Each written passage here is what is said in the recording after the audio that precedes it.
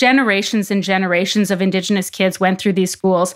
And along with the cultural genocide that was you know deliberate and a goal of these schools there was often horrific physical and sexual abuse. And so children you know for up until the 1940s 1950s it was actually you know law that children indigenous children attend these schools and families were were forced to give their children over to the indian agent and the rcmp and the priests who came to the door or they could be put in jail.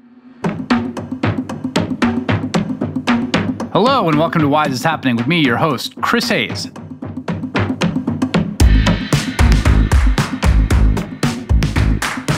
You know, a few years ago, the political satirist and comedian, filmmaker, activist Michael Moore. I don't know how you best characterize the many things he does. He had a, a one person show on Broadway that I went to that was very entertaining. And one of the bits he would do in the show was about the difference between Canada and the US. And the point of the bit was that everyone in Canada knows everything about the US, but no one in the US knows anything about Canada. And to illustrate this, he would randomly pick two people from the audience, one person from the US and one person from Canada. He would would also make sure that the person from the US was like like from like Harvard or something, like from some fancy school. And the person from Canada was usually just from a random place. They didn't go to school in the US. I mean, a random place to Americans. Then they would go up on stage and he would have a live quiz show for each of them with details about each country, like how many provinces are there in Canada? And the Canadian would know the answer and the American wouldn't. How many states in America? The Canadian would know the answer, the American would know the answer. And it would go on and on like this, like what's the name of the, you know, the prime minister and what are the two major parties and blah, blah, blah. And it's a very funny bit because he could be, he was convinced, he was sure, like the whole setup to the bit was he wasn't controlling the people in the audience. He just knew it was the case that there was this like profound asymmetry between what Canadians know about America and what America know about Canadians. And I bring that up because there's a story in Canada that has been playing out over the last several years that has been, I would say, at the kind of periphery of my news consumption, which is a story about the residential school system in Canada. Which is an enormous story there, has been kind of front page news there, and is about the legacy of a system of forced schooling of Indigenous children in schools where these children were a abused quite horribly and also underwent a process of i think the most appropriate term is cultural genocide. I mean it was a program that explicitly existed to drive the indianness out of them the indigenousness out of them their language their culture their rituals their beliefs and to change them fully into canadians you know non-indigenous people now, I've read about this story. Part of it, uh, there was a mass grave that was found on the grounds of one of these schools, which was the moment that sort of precipitated an enormous reckoning, the appointment of a Truth and Reconciliation Commission. This has been an unfurling story in Canada. American media coverage has been there's been some there's some in the new york times and other places but it hasn't been that um, full and it's you know it's one of those stories where there's a huge mismatch between like if you're a conscientious news consumer, a mismatch between like, yes, I know this thing happened and it's bad. Like if you ask me, like, was that, you know, and the full force of what happened. And, you know, occasionally you'll encounter really great reporting that can transcend that gap. I think that's one of the things that great journalism can do. And an example of great journalism is this new podcast that I've been listening to, which is just exceptional. It's called Stolen Surviving St. Michael's. It's produced by Gimlet Media. It's available exclusively on Spotify, and its creator and host is a journalist named Connie Walker, whose own family has an intimate connection to this one particular residential school called St. Michael's. And she investigates her own personal history, her family's history with it, and unspools this story of the atrocities, there's no other word, that were committed there. I have found this podcast incredibly moving and incredibly illuminating. I really urge you to check it out. And before I introduce Connie, I just need to note that this episode contains mentions of sexual and physical abuse. You should definitely take care while listening, or if that kind of thing could be triggering for you, maybe skip this episode. But Connie Walker, host of Stolen Surviving St. Michael's, joins me now. It's great to have you, Connie. Thank you for having me. I appreciate it.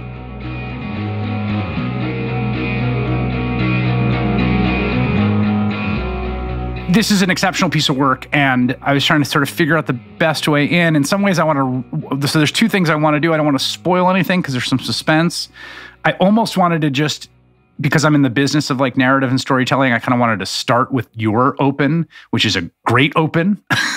so let's start with the way this opens because I think that's a good way to, to hook the listeners uh, and, and, certainly got me. What, what's the first moment of this podcast? The first moment really takes the listeners back to my home. I'm from rural Saskatchewan, which for Americans who don't know Canada is basically just north of North Dakota and Montana. So, Canadian prairies, very flat, very huge sky. It's beautiful. I love it so much. And we take the listeners back to one night in the late 1970s.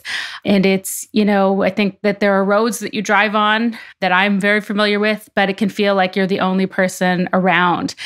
And in the 1970s, my dad was driving on those roads. He was a police officer in rural Saskatchewan on patrol one night for the Royal Canadian Mounted Police.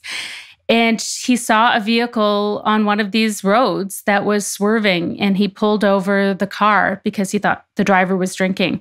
And when he got to the driver's side window, he realized that he recognized the driver. It was a priest who had abused him when he was a boy at a residential school. And my dad, in his uniform, pulled the priest out of the car and beat him up on the side of the road that night and then expected, um, as the story goes, to get into trouble, to get fired, to have something bad happen to him. But nothing happened. The priest never made a complaint. And my dad went on with his life, and the priest went on with his. And it became a story that my father told. He told, you know, some of his brothers and sisters that it had happened. He told his wife, and he told my brother, who then posted it on Facebook uh, a year ago, and I was just scrolling through Facebook one night, and I I read that post about my dad, and you know it it just was shocking. That becomes the entry point, the the the sort of liftoff for this project, both narratively in the podcast and as a journalistic endeavor. So I want to just let's zoom back out and just talk about the macro and and sort of give some context again to largely, I think, American listeners who don't really know anything about residential schools, like what were residential schools? Where were they? How long did they exist? Sure. So, I mean, residential schools were created to kind of aid in the colonialism of Canada, right? The colonization of Canada. Um, and they were meant to kind of quell Indigenous resistance and assimilate Indigenous people into Canadian society. And so they were these schools that the government created and funded where the goal was forced assimilation. And the idea was that you take indigenous children away from their families and communities you know at very young ages like four or five six years old and you force them to live in these residential schools that were often run by the churches and most of them run by the catholic church where they learn English and where they're not allowed to practice their culture or speak their language and they become assimilated. And those schools were in operation in Canada for over 100 years and there were over 100 schools in Canada.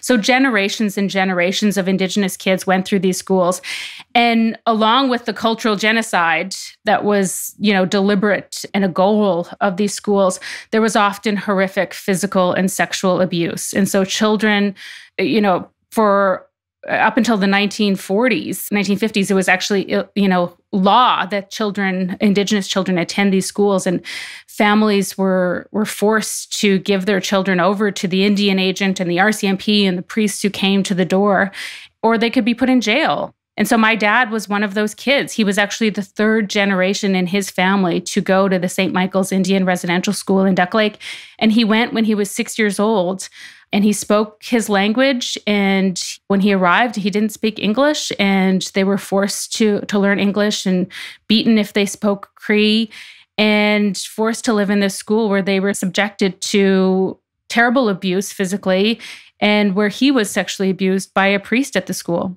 yeah, I mean, there's there's so much here. One thing just to emphasize for folks is that there's sort of two levels of abuse happening, which is that like even if there was no physical or sexual abuse, even if no nun or priest ever hit the kids, even if they didn't sexually molest children, as happened at St. Michael's and I other schools as well, the entire setup is a monstrosity, like independent of that. So there's these sort of two levels happening, and, and on the just the mm. policy level, like this was a compulsory law. Like someone came to your door, if you were a parent, a Cree parent, and said, "We're taking your kid now." Yeah, up until it, it was law up until I can't remember the exact date that it changed, but even after it changed, there was still plenty of coercion, and still we've heard from families and, and survivors who are alive now that that was their experience. One of the survivors that we talked to for the podcast says he remembers being a kid and the Indian agent and the RCMP officer and the priest coming to take him away from his parents and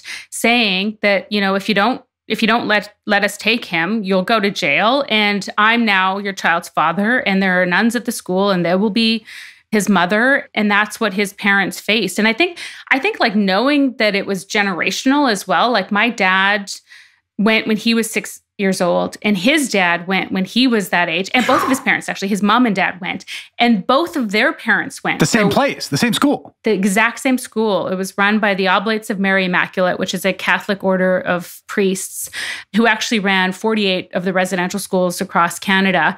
And his grandfather my great grandfather was one of the original students at the school in the early 1900s. So this is like, this becomes this thing that is like, you know, at first compulsory, at first mandatory for children to go to, and then becomes, you know, because of the terrible harm that came from these schools, becomes almost a form of child welfare at, at a certain point, and, and children you know, by the 60s and 70s and 80s, that a lot of kids were there because of, of child welfare reasons as well. Like it's it's led to these like incredible impacts, obviously, on individuals who were children when they lived there, but then families and then communities and the ripple effects are things that we're still grappling and dealing with today. Yeah, I mean, one of the most profound elements of the story you tell is the intergenerational trauma and how that's passed on and how stories are kept repressed for perfectly understandable reasons, but that that produces its own after effects in people and their behavior and how they and their their sense of self. I want to just just to again zoom in on this because what this I, found the, the podcast so moving, but like I was just telling you before we had on, I had to take it in small doses because parts of it are so upsetting. And I was just thinking about, you know, I have a I have a 10, 8, and 4 year old and, you know, my little four year old, uh, when she started school, she was after the pandemic. So she hadn't been socialized, right? So we would take her to preschool every day and she would cry at the beginning. And it took a few days, uh, mm-hmm. well, longer than I would like, few weeks every day. It was the worst part of my day. And it would sort of just kill my heart all day. Like I would drop her off and I'd had to do that thing you do as a parent where like, you're just like, all right, I love you, bye. Because the longer you stay, the worse it's going to be. And as I was listening to this, I was like, these kids were two years older than that. Like these are tiny little children. And they're being taken from their family and their parents are being dropped in a place that they don't speak the language and they're beaten if they do. I mean, it's just like, it's real nightmare stuff, like real, like darkest, darkest possible nightmare stuff. It's horrifying. It's really horrifying. And I think that like for me it maybe sounds surprising to hear that like I didn't I didn't know about my dad's story. I didn't know about his experience. I knew that he had gone to a residential school, but I didn't know where he went or for how long or how old he was, and I didn't know that he experienced abuse there. But when I learned that about him, it helped make sense of so much of what I went through as a kid with him. And this journey of like basically, you know, the, the first episode of the podcast kind of lays out our goals, which is like to try to, you know, understand the truth of what that was like for my dad and other survivors who were at the school, like to be those little children and to be taken to this big red brick building that like looms over this tiny town in rural Saskatchewan. It's the biggest building around for miles and miles and miles and what it was like for them in those schools and trying to get a sense of what it was like for them in the schools, but then also trying to identify and find the priest who abused him and the priest he pulled over as a way to, to also understand like what kind of justice has there been? What kind of accountability has there been for survivors? And it's been this really eye opening experience. Even though I'm a journalist, I've been a journalist for 20 years, I've reported on residential schools, but I didn't know anything about my dad's experience. And so, because my dad passed away in 2013, you know, I've been interviewing his relatives. He was one of 15 kids in his family to go to that school. And most of them went when they were six years old and they all spoke Cree. And talking to my aunts and uncles and sitting across from them and hearing through their voices, the way they're kind of reconstructing the school and reconstructing their experiences, and imagining my dad as that six year old boy, it's just been yeah.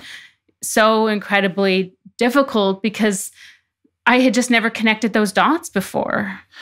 And I have to say, like, there's very few people I think that could tell this story. Like, I just think it's a really important story to tell, like a profoundly important story to tell. But like, even the best, most humane, empathetic, and well intentioned reporter, you couldn't just send to go report this. And I want to play a little clip just because, and I think you do such an incredible job. I think obviously because you have like skin in the game here. I want to just play this clip of someone that you spoke to. This is a St. Michael survivor, Eugene Arcand. And he's just like, he's telling you basically like, he's like, take care with this. Like, this is, this is the most dangerous, powerful thing that you can talk about for us. This is what he had to say.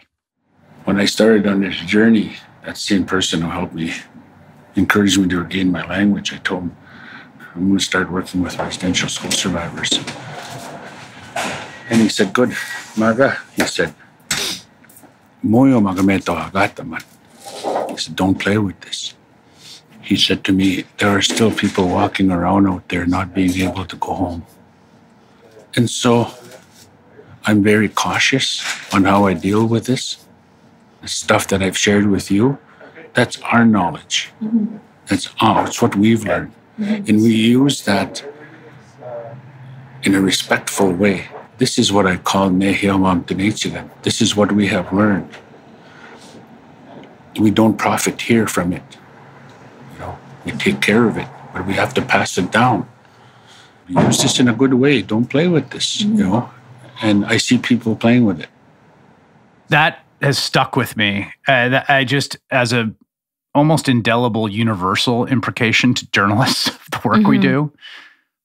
But tell me about how that guided you and how you navigated this. Well, honestly, like that that almost put an end to the podcast, really. Like after leaving that conversation with Eugene, you know, I really questioned whether I should be doing this, whether this was this was my story to tell, you know, and and if this is something that I should be taking on. And, you know, because I think that the part of the context to Eugene's warning is that, like, you know, for survivors from their perspective, you know, they grew up in these institutions where they, and Eugene does this incredible job of like really kind of just crystallizing in a single conversation just what it was like for them to be children and to have danger and predators around you and needing to like basically like you you enter this school as a defenseless child but immediately you need to then like find some kind of edge find some way to survive.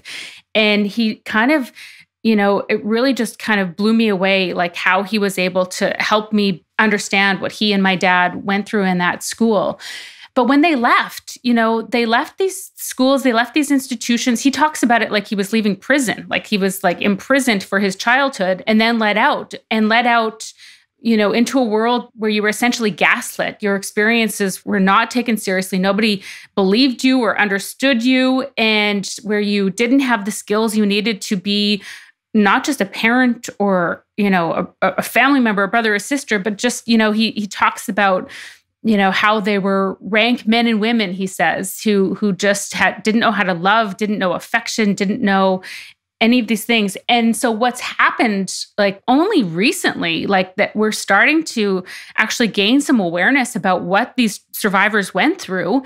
And i think for me as a journalist it's like it's also like reckoning and understanding that we have failed like that it's 2022 right. and we're just now learning the truth about this. Like survivors have lived their whole lives and have never shared their stories that's a huge experience. And again i want i don't want to spoil like i'm trying to do this in a way that people are going to want to listen to this conversation and listen to the podcast because i don't want to preempt it. Because like i'm the kind of person that's like i'll listen to like a terry gross and be like i don't need the book. Like i got it.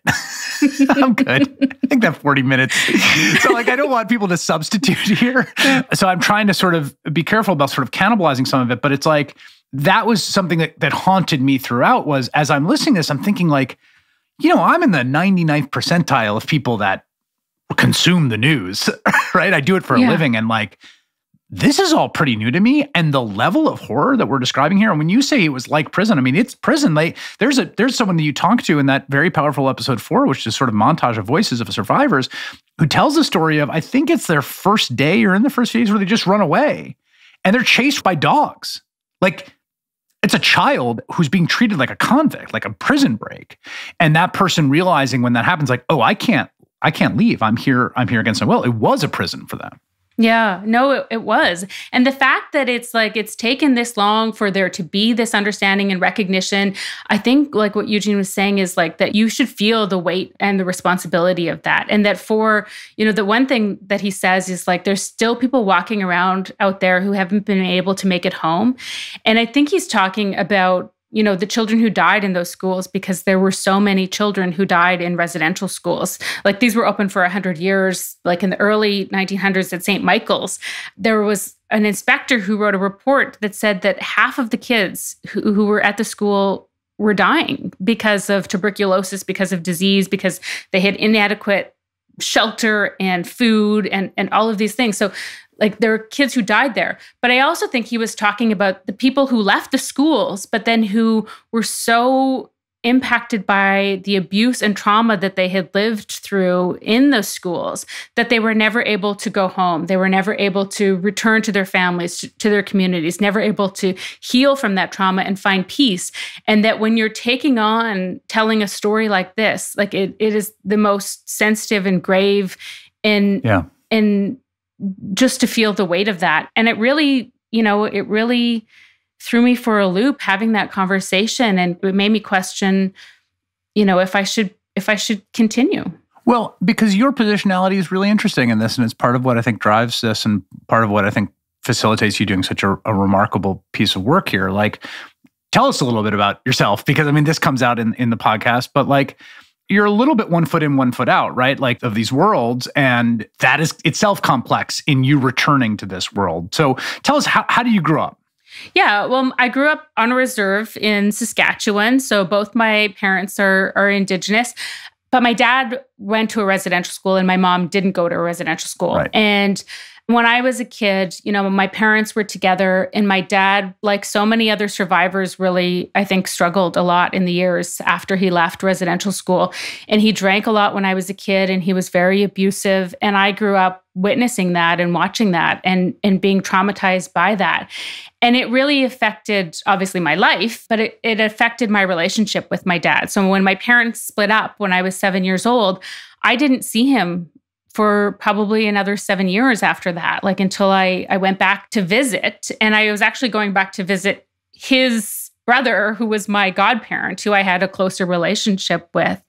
And I think that because I had those negative experiences with my dad when I was a kid, you know, I really kind of kept him at a distance for most of my life. And, and I didn't take the time or I, I hadn't I didn't feel like I had a desire to learn more about his his life, even though I, I felt like I was watching it from afar and seeing how it had changed. Like when I went back when I was 14, he had gotten sober and he had a, a, new family and a new wife and he was reconnecting with his culture and, and spirituality like everything that they tried to take from him in residential school and he became like a really you know a leader in the community and and I could see all that happening but I also felt like you know my experiences with him as a kid really kind of made me want to stay back and and and yeah. And i think then you know when i heard the story then about the fact that he was abused by a priest at the residential school it it just kind of crystallized like my experiences as a kid. I'm like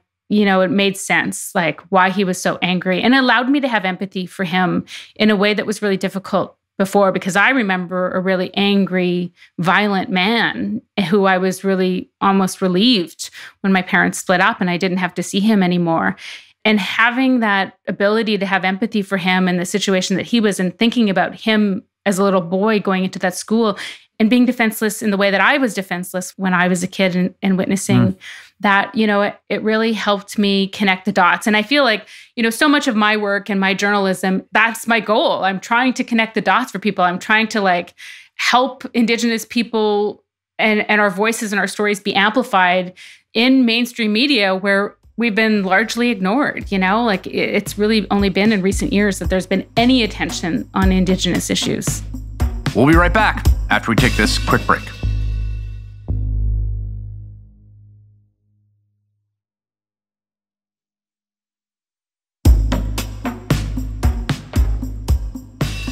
I have to say that you do an amazing job. Like your father's story comes through with all its sort of profound pathos, but there is a really beautiful redemptive arc. And I know how it's very clear how hard your early memories are with him and, and how difficult and scary a presence he was then. But also that he, I mean, in this really remarkable way, like kind of heals himself from like an almost incomprehensible level of trauma and kind of has a fresh start with another family. And he is, by all accounts, I mean, your brother who features in it is a really like lovely, attentive, and patient father and and present yeah. person. And and part of the theme here is just about trauma. I mean, yeah. you know, and I, I thought about accounts and people that I've known. I've known people in my own life who were, you know, whose grandparents or great grandparents were Holocaust survivors, you know, quite a few in my life. And, you know, it's just apparent how that's there, that's present, that hovers, that moves generation to generation. Mm. And that's really one of the themes here is just this entire community that's dealing with this trauma. I guess talk a little bit about that because I'm, you know, I'm, I'm rereading Freud right now for some project I'm working on. For fun.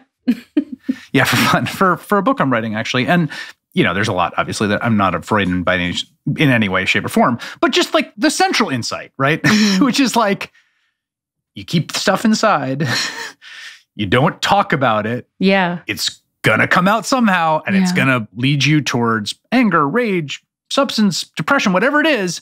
The only way out is through. Yeah. You gotta like talk about the thing and acknowledge it. And that core insight, I think, really stands to the test of time and is part of what's on what this project that you're doing is about, it seems to me.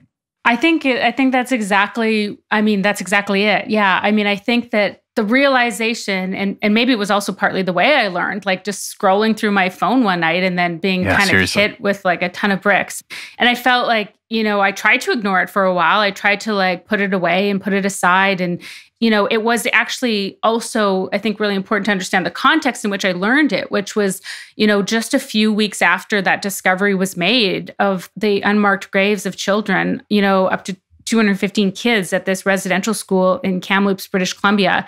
And it felt like, you know, people were finally starting to pay attention to survivors who who it seemed like had been like waving their hands in the air their whole lives saying like this is real. This happened. Like we've lived this like you know and finally for the first time it felt like people were stopping and saying like oh my gosh residential schools were real and terrible things happened there. And like and so it was so Im- intense i think intensely emotional for as even just as an intergenerational survivor to be watching that unfold and then to read that story about my dad i definitely felt like I couldn't ignore it. Like I needed to go through it. And and I feel like this is now the fourth podcast that I have done, which has been like a deep dive into a single story about an Indigenous family who has either had a loved one who's missing or murdered, but is also a window into a bigger world about Indigenous issues. And I feel like those have all been explorations of trauma. And what I've been realizing is like I feel like so much of my career has been me trying to better understand trauma. Right. Right. Like why am I drawn to these stories of like people stole like indigenous people like stolen and forced to like like fill in some dark mystery about their past. I've, I've been doing that for years. Like it's, it's yeah, it's amazing. You really can avoid a lot of things. Um, I think he's right about that.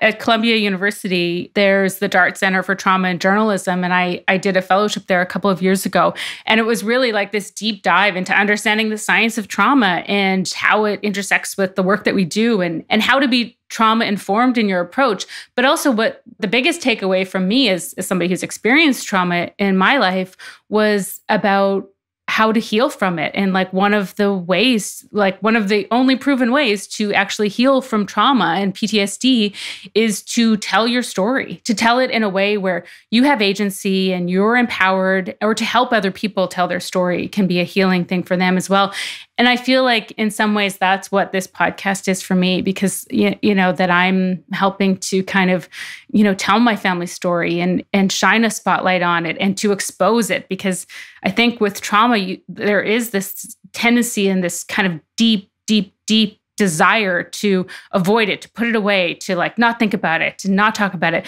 But it always pops up. It, it can never be hidden. And and this is the the spotlight we're trying to shine on it. Yeah. And it also, I think, illuminates how perverse the conundrum for survivors before the last few years must have been, which is overcoming your own feelings of shame, fear, depression, repression to be like, here's the worst thing that ever happened to me, world. Like to come to to get to that point. And then to say that, and it's like, what? Residential's like, what do you what? that just yeah.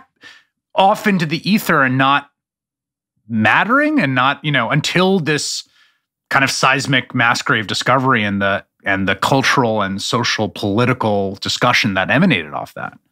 Not just not mattering, like not just being people were not just indifferent, like there's still people who deny deny residential schools and deny the harms that happen there. And survivors like there's been this i feel like this kind of echo chamber of like people saying can't you just get over it? Like that was so like this idea that it happened so long ago and that it was, oh, you see the black and white images and you imagine, well, that was a hundred years ago. And can't you just get over it? Like, why are you still talking about this? Like, and there you mentioned in, in the intro, there was like there was a truth and reconciliation commission that was, you know, tasked with trying to record the truth from survivors about their experiences. And these commissioners traveled across the country and held events and heard from thousands of survivors and tried to record the truth truth about their experiences. And I remember one of the commissioners being at an event with him, Justice Murray Sinclair, or Senator Murray Sinclair now. And he said, You know, people say, why can't you just get over it? And he said, I say, why can't you remember it? Like, do we ask Holocaust survivors to get over the Holocaust? Do we ask veterans to get over World War II? Like, what is it like? It's it's like really kind of confronting the racism that still exists in society yeah. that is asking Indigenous people to get over the genocide, to get over uh, residential schools, to get over ongoing colonialism and the violence that we continue to face because of it. We'll be right back after we take this quick break.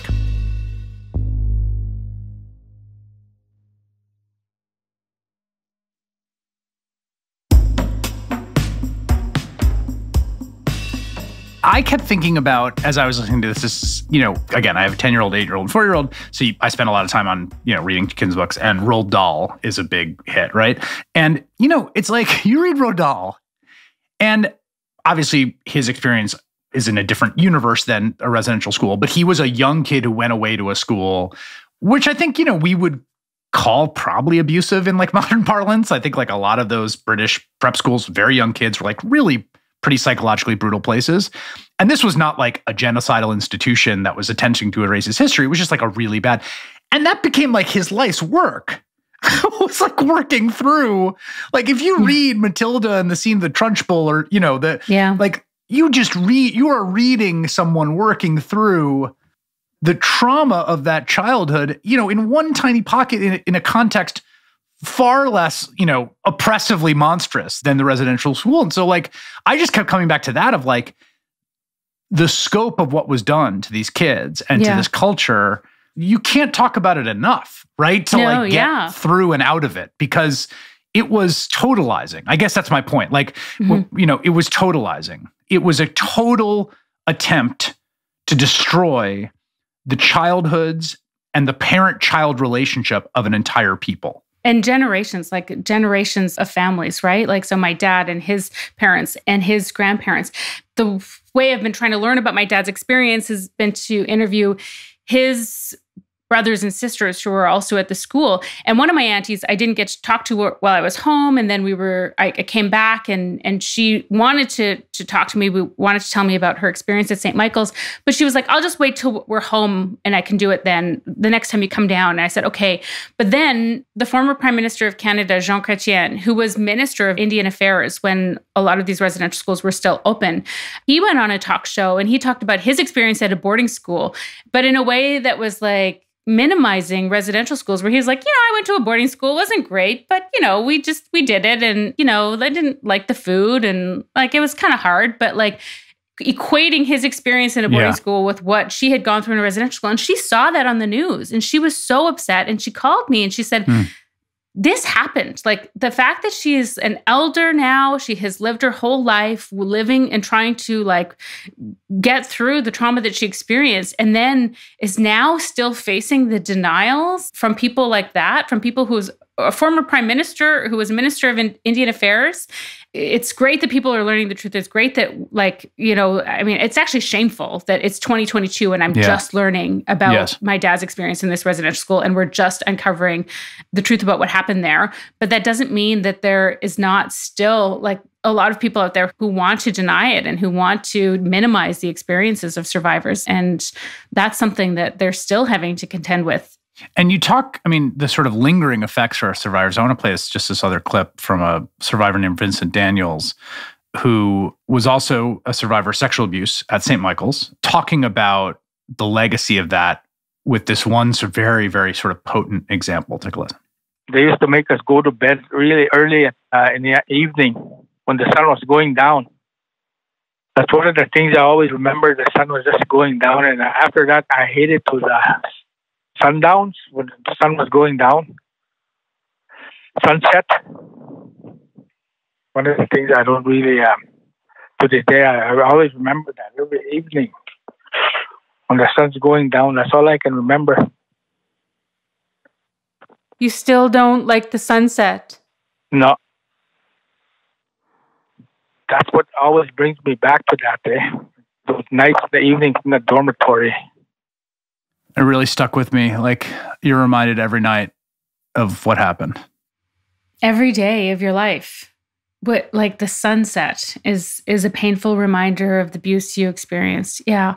Vincent is like, I mean, we talked to almost 30 survivors from St. Michael's in the end to again, like, because there has never been like this kind of investigation into St. Michael's, but also into any residential school. Like, I feel like if you hear survivor stories from many different schools like you get a sense of obviously these things were happening in every school. But to drill down and find out as much as we could about st michael's and what happened there and what was happening to the kids there um, we tried to talk to as many survivors as we could and we talked to to 28 and vincent was one of them. And i just talked to him the other day because i was you know just wanted to see if he if he was he, hasn't listened. Uh, he wants to listen, hmm. and I wanted to let him know, like, especially episode four is, is is for survivors. I feel like it's such an education for us, and I feel a responsibility to hear the truth that they shared with us.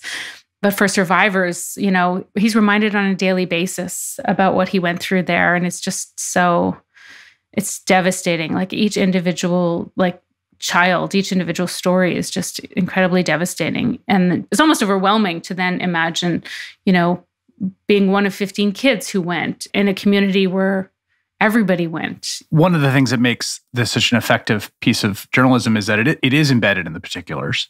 So you can see like what we're talking about. And I've, again, I've been walking a line throughout here to not do spoilers and, and to create some narrative tension in the audience members listening now. But let's talk a little bit about the trajectory you go on. You decide that you're going to try to report out your dad's experience, basically. Yeah. How does that go? Well, it's still going. you know, I mean, we're we're actually I didn't know it was going to end up where we've ended up and I won't give any spoilers, but I think that like for what I think is also important to me just personally as well is like is the investigative element in this story. Like that's something that I like personally am finding a way through and a way forward is the investigation to try to find out who was the priest who abused my dad.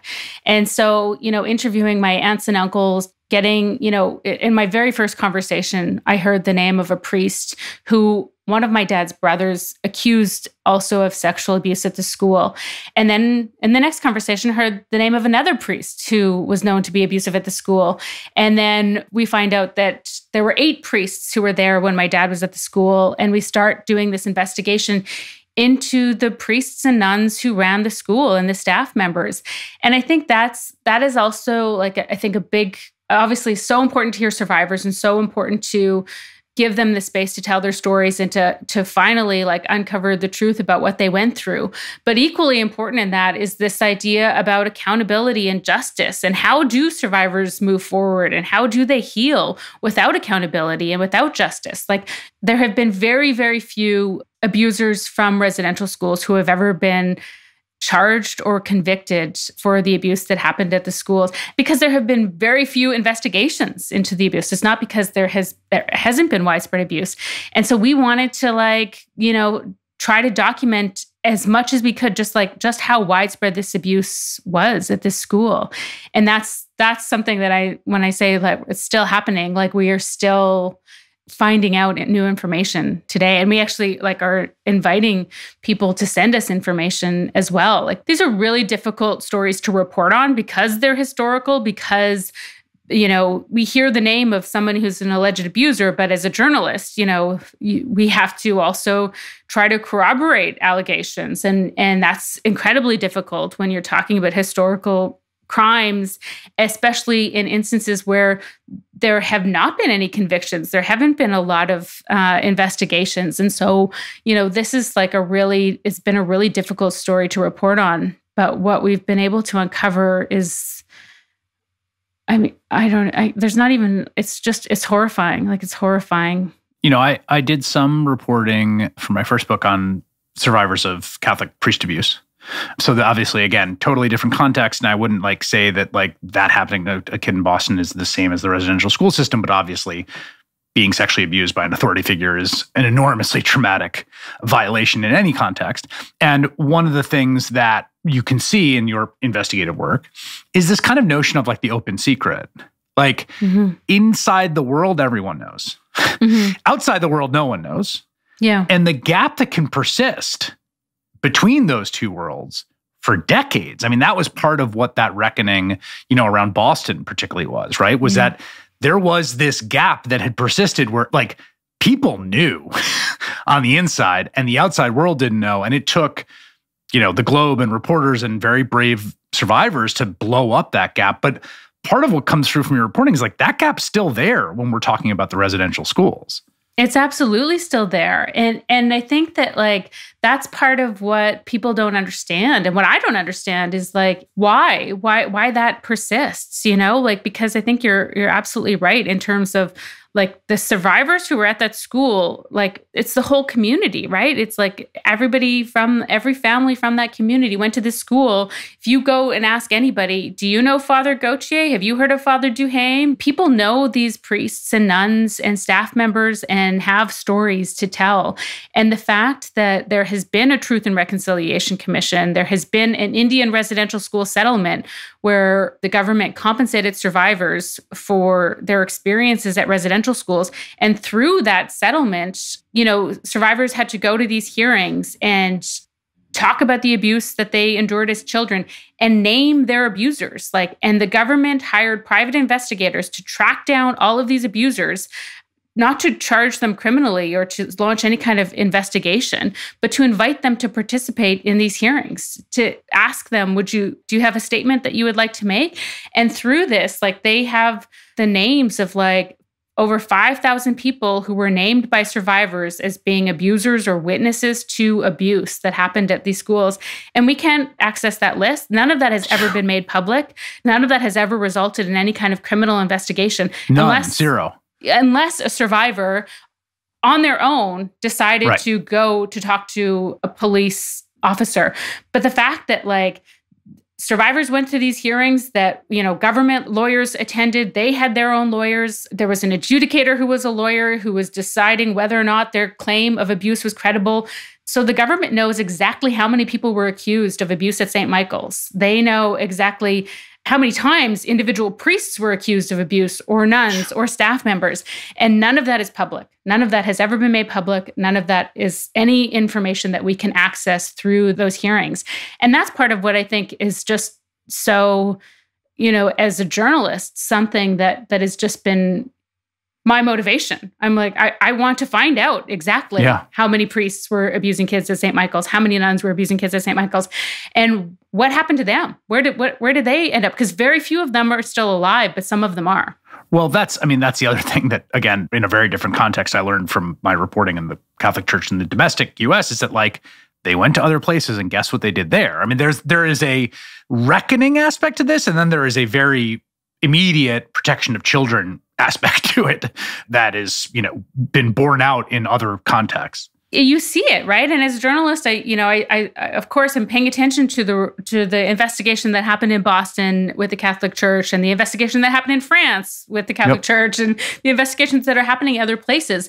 And knowing like that you know this is also a story in canada where I feel like we have just scratched the surface. Like we we're learning more about residential schools and we're learning about the abuse that went on there. And why are we not then learning more about the abusers and, and what happened to them? Like there are still people most of the people, most of the priests and nuns who were at St. Michael's when my dad was was there have died, but there are some that are still alive. And that's part of the podcast that we, you know, we want to find them, we want to talk to them, we want to ask them questions about their experiences at these schools and about these allegations of abuse. And we want to know what the Oblates of Mary Immaculate and what the Catholic Church have done to protect, you know, minors after because these allegations of abuse like they started coming like like survivors started coming forward in the 1990s and filing lawsuits and suing the government and suing, uh, you know, the Oblates who who ran the schools and the Catholic Church that ran the schools and the Anglicans who ran the schools. And we started accessing some of these documents and finding, like, you know, in one of the statements of defense that was filed by the Oblates, you know, they denied that they were in charge of the care of children at the school. What? They deny that they, you know, had any responsibility for the well-being of, of kids at the school. They deny employing the priests who ran the school. And and they said even if the abuse that this survivor has alleged is true, it's not our responsibility. It's the responsibility of the, the Canadian government. And then it, and then the Canadian government statement of defense is like, we deny that we are responsible. It was the Oblates who ran this school. Oh my and, God. and that was what survivors were dealing with for, for so many years. but I feel like all of these things, it's it's all been sitting there. It's all been like in court documents. It's all been in survivors in their in their lives, just waiting to be asked. Like the people in my family, we're not unique. This is this is my my story and my story with my dad, but we're not unique. This happened to yeah. every family. This was every every family's experience, and I feel so grateful to my family for being so generous and opening up and talking about the things that we never talked about. But also, you know, I think that this story could be told in every Indigenous community across Canada and by every survivor's family, which is horrifying. On that note, I mean, I, this podcast, you know, has a decent reach, and I don't know who will listen to it or, or to where it will travel or whose ears it might hit. If there are people that that have information to share who lived this or witnessed it at St. Michael's specifically or at a residential school, is there a way they can reach out to you? Yeah, we have actually created an email address so people can get in touch with us directly if they have any information about St. Michael's Residential School or any of the the priests or nuns or staff members because you're right. They, you know, they worked at St. Michael's, but some of them went on to work at other residential schools. Some of them went on to work in other indigenous communities and our email address that we've set up is stolen at spotify.com and so absolutely anyone who has any information and and it's been incredible actually just you know what we've been hearing from people already who are listening to the podcast and and who have information I, as a journalist uh, at the beginning i remember of of the investigation me and my producer ellen were like we need a whistleblower like we need somebody who is like has access to information and who can send us something because so much of of what we want to what we are wanting to find out, we know is out there. We know that the government has, but we can't access it. And so we're always open and ready for any information. Connie Walker is a journalist and she's host of Stolen Surviving St. Michael's. It's produced by Gimlet Media. It's available exclusively on Spotify. And I, I really cannot recommend it highly enough. It's an exceptional piece of, of work. Um, and I learned so much from it. And I'm really appreciative for you coming on the program today. Thank you, Connie. Thank you so much, Chris. I really appreciate you having me.